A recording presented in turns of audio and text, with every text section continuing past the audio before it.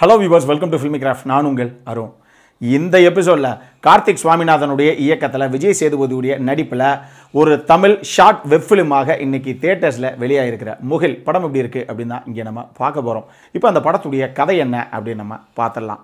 மனைவி மகள் தான் அப்படின்னு சொல்லி அழகான ஒரு குடும்பம். அப்படி இருந்துகிட்டு இருக்க படத்துடைய கதாநாயகனுடைய குடும்பத்துக்குள்ள ஸ்கூபி அப்படிங்கிற ஒரு அழகான நாய்க்குட்டி வந்து சேருது. இப்போ இந்த உள்ளே வர்ற இந்த நாய் வெறும் நாய்க்குட்டியாக வராமல் தான் குடும்பத்தில் ஒரு உறுப்பினராகவே மாறி போய் இவங்க எல்லாருடைய வாழ்க்கையிலையும் எவ்வளவு பெரிய ஒரு இம்ப்ரெஷனை கிரியேட் பண்ணுது அப்படிங்கிறது தான் இந்த படத்துடைய மொத்த கதையை. இப்போ அந்த படத்துடைய பாசிட்டிவ்ஸ் என்ன நெகட்டிவ்ஸ் என்ன அப்படின்னு நம்ம பார்த்தலாம் முதல் பாசிட்டிவ் அப்படிங்கும்போது இதனுடைய கதை தான் அதுவும் டாக் லவர்ஸ் எல்லாத்துக்குமே ஒரு விஷயம் தெரியும். ஒரு நாய்க்குட்டி அப்படிங்கிறது மற்றவங்களுக்கு தான் அது நாய். ஆனால் நம்ம வீட்டில் அது ஒரு ஃபேமிலி மெம்பருங்கிறது வளர்க்குற நமக்கு தான் தெரியும். அந்த அளவுக்கு டாக் லவர்ஸ் எல்லாத்தையும் கவரக்கூடிய அளவில் அற்புதமாக ஒரு படத்தை கொடுத்துருக்காங்க. அந்த அளவுக்கு நீட்டான ஒரு கதையம்சம் கொண்ட படம் தான் இது.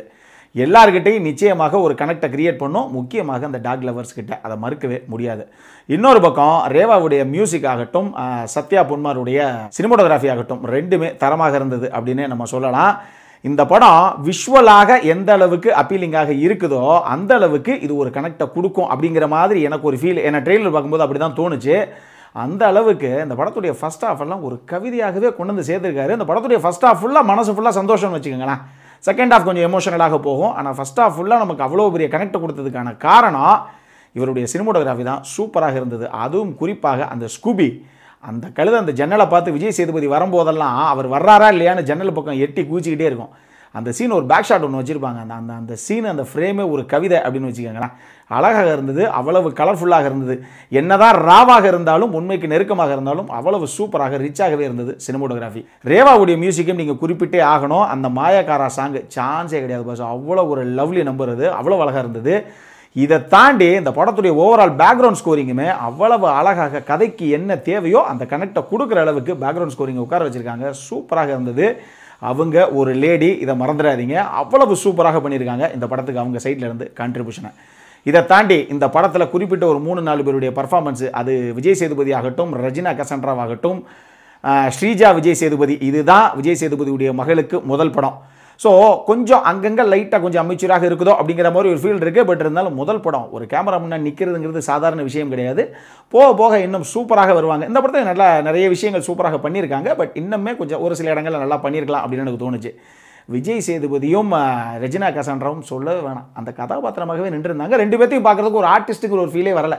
ஒரு மிடில் கிளாஸ் ஃபேமிலியில் இருக்கக்கூடிய ஒரு கணவன் மனைவி எப்படி இருப்பாங்களோ அவ்வளவு அழகான ஒரு கெமிஸ்ட்ரி அவ்வளவு சூப்பராக ஒர்க் அவுட் ஆகிருந்து அந்த படத்தில்.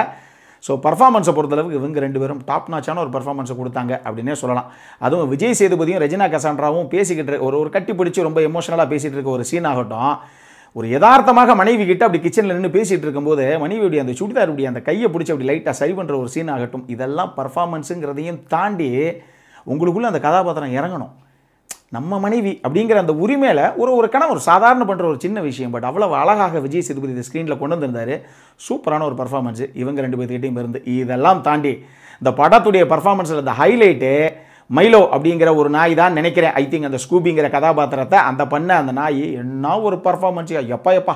இந்த வருஷத்துக்கு ஆஸ்காரே அதுக்கு தான் கொடுக்கணும். அண்ணா ஒரு பர்ஃபார்மன்ஸ் ஏன்னா இவங்க வந்து அந்த நாய்க்குட்டி நம்பர் ஒன்று நாய்க்குட்டி நம்பர் ரெண்டு அப்படின்னு போட்டிருக்காங்க. ஆனால் படத்தில் மூணு நாயை காமிக்கிறாங்க. அதனால் முதல் நாயின்னு சொல்லி மைலோ பேர் தான் போட்டிருந்தது. அதனால ஓகே அதுதான் இந்த நாய் அப்படின்னு நான் ஸ்கூபி அதுதான் நினச்சிக்கிறேன். அதனால நான் கிளியராக சொல்லிடுறேன். இதை தாண்டி இந்த படத்துடைய காட்சி அமைப்புகள் நிறைய காட்சி அமைப்புகள் பட் நான் ரிவீல் பண்ண முடியாது. எல்லாமே காலியாக போயிடும். காட்சி அமைப்பிலும் நிறைய விஷயங்கள் அழகாகவே கொண்டு வந்திருக்காங்க. கவிதையாக. நெகட்டிவ்ஸ் அப்படின்னு பார்க்கும்போது இந்த படத்துடைய செகண்ட் ஹாஃபுக்கான ஸ்க்ரீன் ப்ளே தான். இந்த படமே ஒரு மணி நேரம் தான். ஃபர்ஸ்ட் ஹாஃப் டெஃபினட்டாக நம்மளுடைய மனசை கொள்ளை கொள்ளக்கூடிய ஒரு படம் தான் இது ஆனால் செகண்ட் ஹாஃபை பொறுத்தளவுக்கு அரை மணி நேரம் அதான் செகண்ட் ஆஃப் அப்படின்னு வச்சுக்கோங்களேன். இதில் பதினஞ்சு நிமிஷத்துக்கு தான் கதை இருக்குது. அதை தான் அரை மணி நேரத்துக்கு இழுத்து இவங்க ஸ்க்ரீன் ப்ளே பண்ணியிருக்காங்க. இவங்க ஒன்று இந்த பதினஞ்சு நிமிஷத்தை கட் பண்ணி மொத்தமே முக்கால் மணி நேர படமாகத்தான் விட்டுருக்கணும். அப்படி இல்லை அப்படின்னா அந்த மீதி இருக்கக்கூடிய பதினஞ்சு நிமிஷத்துக்கு ஏதாவது ஒரு சில சுவாரஸ்யமான காட்சி அமைப்புகளை இவங்க இன்னும் கொஞ்சம் கூடுதலாக சேர்த்துருக்கலாம். இன்னுமே இந்த கதை சுவாரஸ்யமாக இருந்திருக்கும். ஆனால் அந்த செகண்ட் ஆஃபில் இதனால் ஒரு பெரிய லாகிங் நிச்சயமாக உங்களுக்கு தெரியலாம். இதை தாண்டி இந்த படத்தில் இன்னொரு விஷயம் எனக்கு பிடிக்காத ஒரு நெகட்டிவ் என்ன தெரியுமா? இந்த படமே ஒரு மணி நேரம் தான் இதுக்கு அரை மணி நேரத்தில் ஒரு இன்டர்வல் வேறு. இந்த அரை மணி நேரத்தில் எல்லாரும் இந்த ஃபேமிலியோட வந்தவங்க இல்லை அப்பா மகளாக வந்தவங்கலாம் நாங்கள் பார்த்தோம் தேட்டரில் ஏன்னா நானும் என் பொண்ணு தான் போயிருந்தோம். இப்படி போகிறவங்க எல்லாம் இந்த அரை மணி நேரம் இன்ட்ரோல் பிளாக் வந்துருச்சு அப்படின்னா தேவையில்லாமல் அதுக்கு ஒரு பாப்கார்னு அதுக்கு ஒரு கூல் ட்ரிங்க்ஸு இப்போ ஒரு மணி நேரம் படத்துக்கு இன்னொரு பதினஞ்சு இருபது நிமிஷம் இந்த இன்ட்ரோல் பிளாக்கையும் சேர்த்து மொத்தமாக ஒரு ஒரு மணி நேரம் இருபத்தஞ்சு நிமிஷமாக படத்தை கணக்கு காமிக்கிறதுங்கிறதெல்லாம் ஒரு பக்கம் இருக்கட்டும். ஆனால் பார்க்கிங் சார்ஜஸ் ஒரு மணி நேரத்துக்கு பதிலாக நாற்பது ரூபா கொடுக்குறதுக்கு பதிலாக எழுபது ரூபா எண்பது ரூபான்னு டபுள் பார்க்கிங் சார்ஜஸ் என்னத்தை சொல்கிறது நம்ம ஆளுகளை? கார்ப்பரேட் தனத்தை எங்கெங்கெல்லாம் காமிக்கிறேன்னு அளவே கிடையாதா? என்னத்தை சொல்கிறதோ போங்க.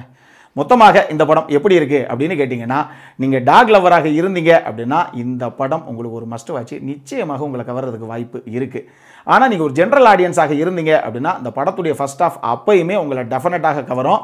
செகண்ட் ஹாஃபை பொறுத்தளவுக்கு நிச்சயமாக ஒரு லேகிங் உங்களுக்கு தெரியலாம். என்ன தான் எமோஷனலாக ஸ்ட்ராங்காக அந்த கதை சொல்லப்பட்டாலும்.